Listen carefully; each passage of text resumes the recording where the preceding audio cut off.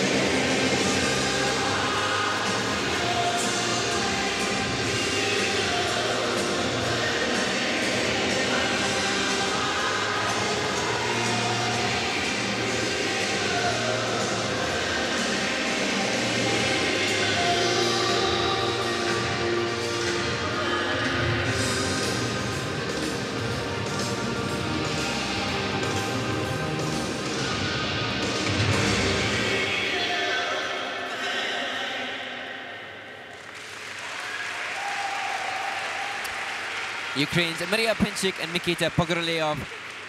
And really, I find it so interesting, Ted, because the, this team showcased such good quality skating skills towards the start. I thought it fatigued a little bit and it, it, fell apart a little towards the end. So as the season progresses, I'm sure the score will, you know, as all teams will, go up in line with that. But the initial stroking into the Rocker Foxtrot was so well matched, the best match that I've seen of the event. Uh, you can see the basics of this dance team is very, very strong. And as you mentioned, it's early in the season, so this is only going to get better and more consistent throughout the whole program. We'll see where this score takes them, but it, it's going to be up there, no question. Look at the depth of edge and the extensions. That's you know why I wanted to slow that down. The match between them, and they've just been taught well. They have a real awareness of their bodies when it comes to their stroking, the foot placement there and the step forwards. That's real quality ice dance education. Interesting to see the comparison back to back with the Americans that we've just seen.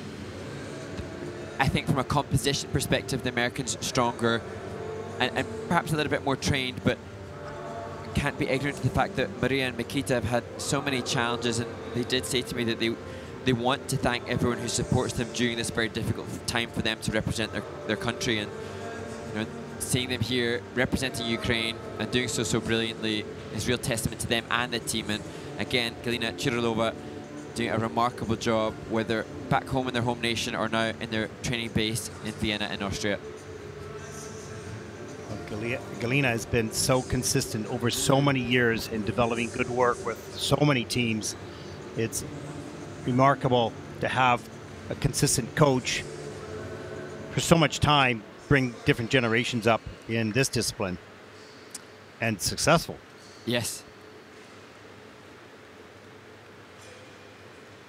They anxiously await Yeah. their scores. 60, 63.17 is their personal best. They're going to need a 63.26 to take the lead. They don't have that score. They have a 60.63, still a good score. And that'll put them in second place